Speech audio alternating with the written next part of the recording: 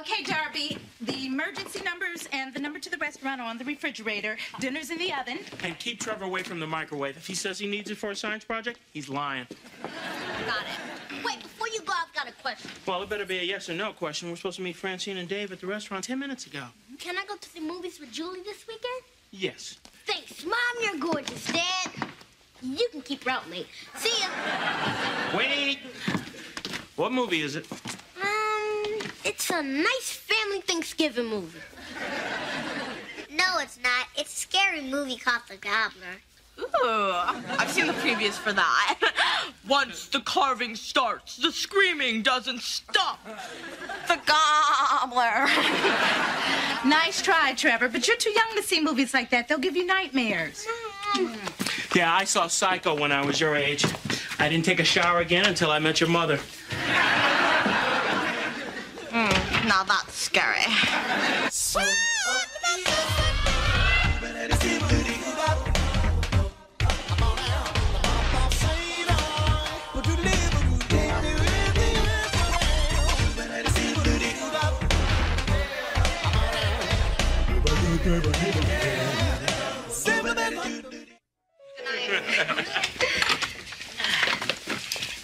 Babysitting, Darby. Oh, you're welcome. Oh, by the way, Emma and I were playing hide and go seek, and by accident, I sort of knocked over those golf clubs that you bought Ron for Christmas. But not to worry, I put the bow back on and hid them again. Ron doesn't golf. I do.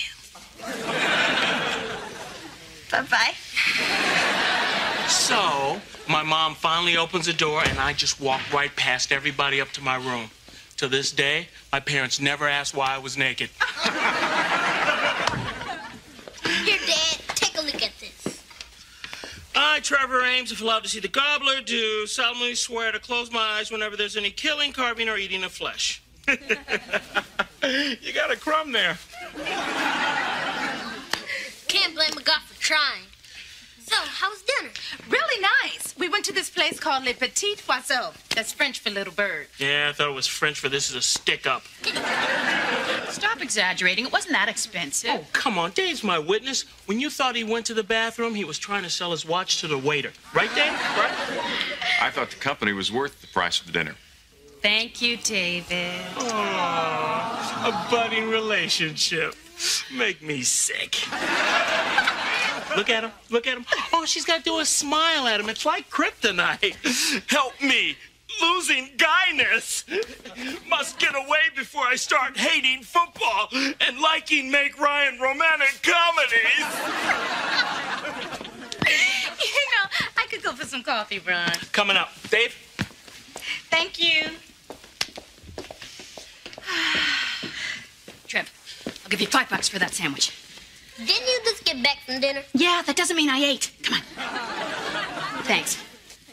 You never want a guy to see you eating a lot when you're first dating. Wow, you really like Dave. Oh.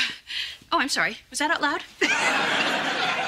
You know, I think he uhs you too, Francine. Really? Oh, I hope so. You know, I just mentioned Petit Oiseau in passing last week, and there we were. I mean, that's the way he is. If I told him I like bear meat, there would be a dead grizzly on my porch tomorrow.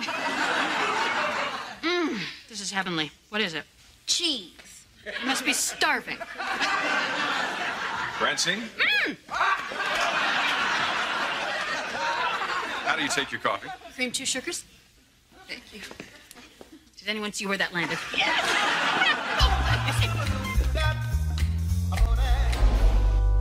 nice flowers. They're yours. I know. I just wanted to hear someone say it. Dave and I are meeting for lunch. Oh? Dave and I aren't meeting for lunch. But it was nice of him to send me these to make up for it, huh? Yeah. Gosh, the last time I got flowers is because my boyfriend thought I was dead. I'm a very heavy sleeper.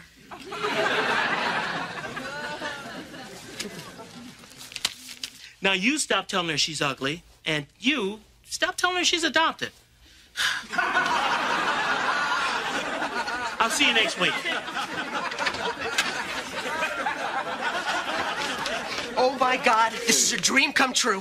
Ah, you finally got your settlement from choking on that squeeze cheese?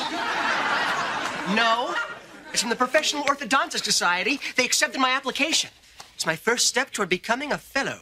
I thought that showering after gym class and not hiding in the corner was the first step. Come on, Ron, I'm serious. This is the most prestigious professional society in all of orthodontia. Getting in means I've arrived. This is great. Uh-huh. And Friday's the final test. They're coming for an on-site evaluation. Well, good luck to you. All right, then. Let's see. I'll uh, bring in my best dental assistant, Vicky. All my files and case histories are in great shape. Then there's my office assistant. Ooh, yikes. Dum, dum, dum, dum, dum, dum, dum, dum, dum. Uh, uh. I think we may need a new angelfish. Uh, Darby, did you get the memo? No, what memo? Oh, uh, about tomorrow. You don't have to be here because the office is going to be closed Why? for a very, very special day. It, it, it's Universe Appreciation Day. Yeah, uh, uh, there's a there's going to be a big rally downtown, free balloons for the kiddies. Uh, Kenny Loggins. Well, I guess it's about time the universe had its day. Ooh. It's long overdue. So here, why don't you take this, uh, take the rest of the day off, and uh, I don't know, we'll see you in a couple of days. Okay. Okay. Wow, that was a great movie. Yeah. My favorite part was when the meat thermometer popped out of the guy's girlfriend. or how about when the gobbler fell into that pot of boiling gravy? I bet it wasn't hot enough. There's gonna be a sequel. Gobbler 2, The Leftovers. You know, it's kind of cool going to the movies on a weekday. Yeah. Here's your excuse for school tomorrow. Oh, let's see. What was I out for? Brain replacement. That was just a joke. Here's the real one. Oh, okay. Constipation? How about a little dignity? Whoa, look over there. It's Francine's boyfriend. That's not Francine he's kissing. No, it's not. Man, that is wrong. Maybe they're just friends. We're friends. Would I do that to you? Yeah, if you had a death wish. Francine really likes this guy. He's busted, I'm telling my dad. Oh, that's a great idea. Your opening line should be, you know, a funny thing happened when I was cutting school today. Guess I wouldn't get much further than that, would I? Ew! He's sucking that woman's fingers. Now that's just unsanitary. Three, four, five. Pennsylvania Avenue. That's mine. $800, please. Daddy's only got five hundred dollars, honey. Okay, I'll take that. And your Marvin Gardens. Your turn. What's the point? I've been in jail for most of the game. Well, you might roll doubles and get out. I don't deserve to get out. Trevor, what's going on? Usually you like this game. I just don't have the real estate mogul instinct today. if you need me, I'll be in solitary. You know, he's been acting funny since he came home. Maybe he's coming down with something. One, two, three. Mediterranean. Ha ha! That's mine, little girl. You owe me two dollars. Here's a 20. Keep the change.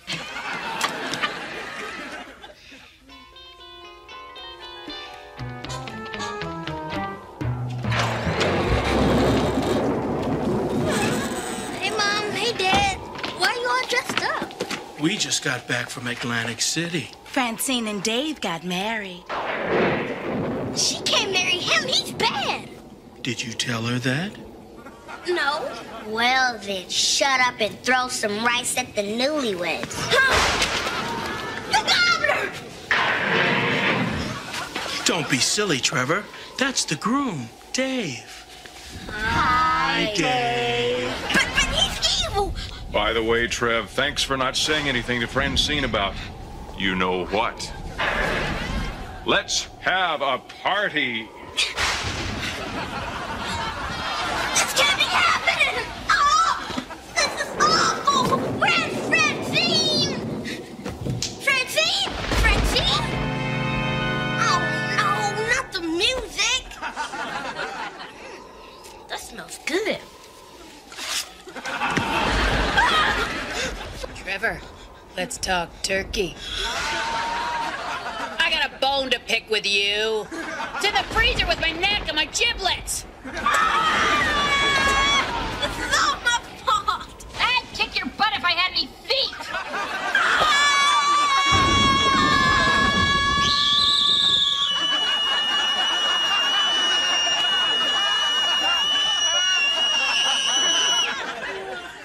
Why are you screaming? You scream first. Hey, what's going on out here? A screaming contest? Wasn't a screaming contest. Sore loser. Trevor, what's wrong? You've been acting really weird. Did something happen at school? No, nothing happened at school. I know because I'm there every single day. Well, something must be wrong. You haven't been eating. I was starting to get a gut. Trevor, I want to know the truth, and you're not leaving until I get it. Okay. My stomach has been bothering me. I didn't want to say anything because I didn't want to worry. Now I've got to go do my homework. Whoa, whoa. What kind of pain is it? Is it sharp, dull? Yeah, it's sharp, dull pain that goes away when I do long division. I'll call Francine and have her check it out. No, because the pain is gone and suddenly I'm hungry. Well, good. How about a turkey sandwich? I'm gonna call Francine. Well, I'm certainly glad Dr. Pike could spare you for a couple of days. Uh, must say, this is a very impressive resume. You've worked for seven medical groups, three hospitals. And four wars. United States Marine Corps Recon Charlie Company Semper Fi! Well, uh, there, there seem to be a couple of years missing here. What were you doing between 78 and 82? As classified. Okay. You know, uh, tomorrow's a very important day here for us. Yes, I'm very aware of that. Dr. William Gerber, head of the Professional Orthodontic Society, will be here at 1100 hours. I've done all the background research. Wow. You're as efficient as Dr. Pike said. I never sleep, sir. Ron, if this doesn't impress the head of the admissions committee, I don't know what will. Bruce, what you're doing in Darby's wrong. I know, I know, but this is my shot. I mean, come on, look at her. Looks like somebody ran an air attack on these files. I don't know about her. She offered to arm wrestle me for the last bagel this morning, and when I walked away, she called me a wuss.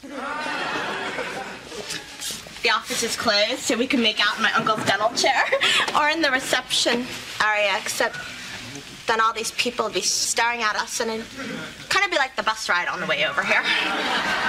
Uh, yeah, well, one more thing. Uh, my appointment book is a mess. I can't make any sense out of it. My other receptionist is a little flaky.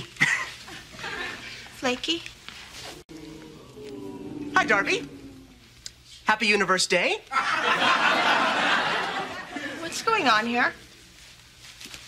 Okay, okay. I hired a temp receptionist. No, no, no, no, no. You, you, you gotta understand. I mean, you know I have to get into the Orthodontic Society. I mean, everything has to be in tip-top shape. Thanks a lot, Uncle Bruce. Come on, Doug. Enjoy your universe day. Hi, Dr. Hanson. Trevor? Ames, Trevor, Dr. Bailey's office. On the double. Sir, yes, sir.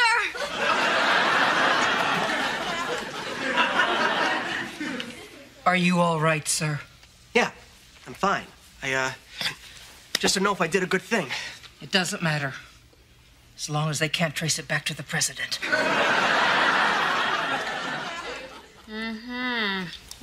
I'm happy to say I can't find a single thing wrong with you. Well, that's me. Healthy as a horse. I better get you on up out of here so you can get to your next patient. No, no, no, no, no. Take your time. You're my last. Dave and I are doing something special tonight, so I'm cutting out early. I'm uh, playing hooky. Don't tell anybody. You know, I plan to have a great time, especially now that I know you're okay. Oh, man. Why'd you have to say that? What? Does that embarrass you? I'm sorry, Trevor, but I. I know. You don't have to say it. Bye. Bye. I love you. Now I am starting to feel sick. What do you mean? Dr. Bailey, this is hard to say. I saw your boyfriend Dave kissing another woman. What? I'm sorry. When did you see him? When? Um, think it was last night. Trevor, Dave, and I have been together every night this week from the time I leave this office until. Let's just say that his evenings are accounted for. but not as Dave. The truth is, I saw Dave Wednesday at lunchtime while I was cutting school. The day he couldn't make lunch. I wanted to say something, but I didn't want to get in trouble for playing hooky. Dr. Bailey, please don't tell my dad. Dr. Bailey? Hey, thanks for telling me. I know it took a lot. I won't tell your dad, I promise. Here you go.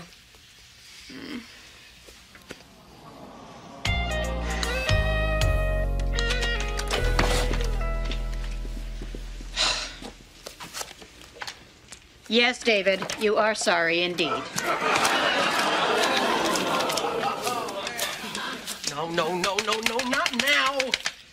What happened to General Patton? Her reserve unit got called up.